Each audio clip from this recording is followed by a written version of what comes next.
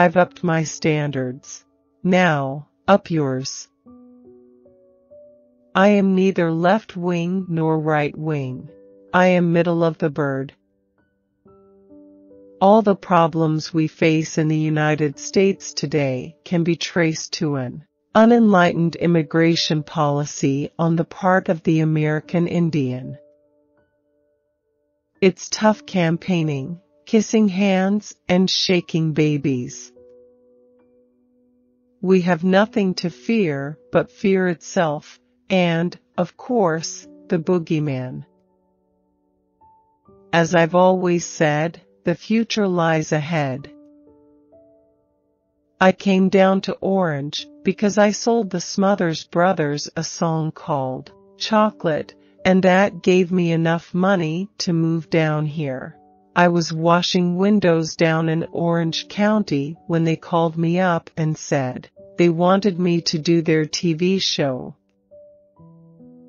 Only a cheap politician, greedy for political gain, would try to single out one individual for blame.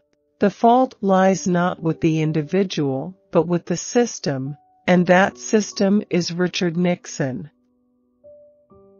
The Clinton administration has turned out to be a boon. I knew that he would be wonderful, I just knew it from the beginning. From Arkansas? Shoot. Assuming either the left wing or the right wing gained control of the country, it would probably fly around in circles. A gun is a necessity. Who knows if you're walking down a street and you spot a moose? Deep down, I happen to be very shallow. I read an article that said one in five Americans thinks Elvis is alive. I want to find those morons and get them registered to vote for me. Only 10% of the people in the US like dry wines. You shouldn't get down on people just because they like a little sugar. I admit I do have some drawbacks and limitations as a candidate. Although I am a professional comedian, some of my critics maintain that this is not enough. I cannot deny that I stand before you untested and inexperienced. I only spent two years in television, never as a romantic lead or a song and dance man. I've been on the campaign trail so long, some of my wine has turned to vinegar. Should we continue to spend billions to subsidize foreign military dictatorships, or should we concentrate on taking better care of the one we have right here at home? So I got into growing grapes not realizing that there was a heck of a lot more to it than meets the eye. If elected, I will win. Will I obliterate national debt? Sure, why not? I will not claim I will solve all the world's problems by myself. If I did, I'd have to run as a Republican or a Democrat. The last few years of my life have been a little like a long ride in a poupda, ville with the bottom down. I once told Tommy Smothers, if I could just get the money and the women straightened out, the rest of my life would be easy. Yeah, I'm running for the White House again. Well, it's not a run, really, it's sort of a brisk walk. Actually, my wine was served at the White House twice.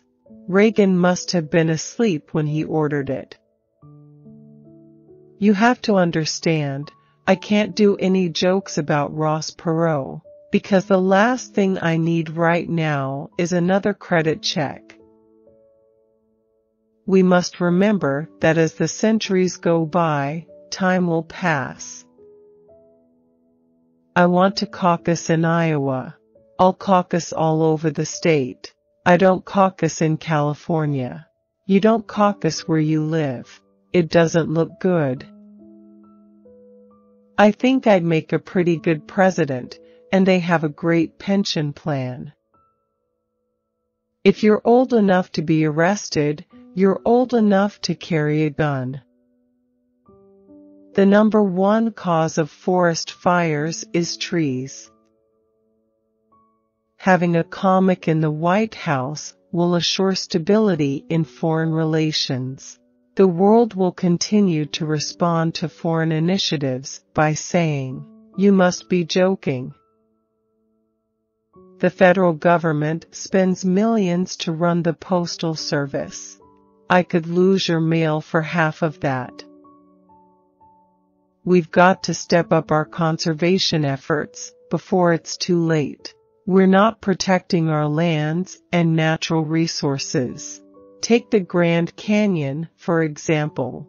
I'm sure that at one time it was a beautiful piece of land, and just look at the way we've let it go. Wine is something to enjoy. We get sick and tired of people who pick it apart and talk about its saucy nuances. I'd learned some things. I knew you weren't supposed to hold a good wine at the top, the paper bag falls off. Now that my wine has been served in the White House, why not me? Who could talk to farmers better than I? Somebody even asked me the other day if I had anything in my platform about taxes.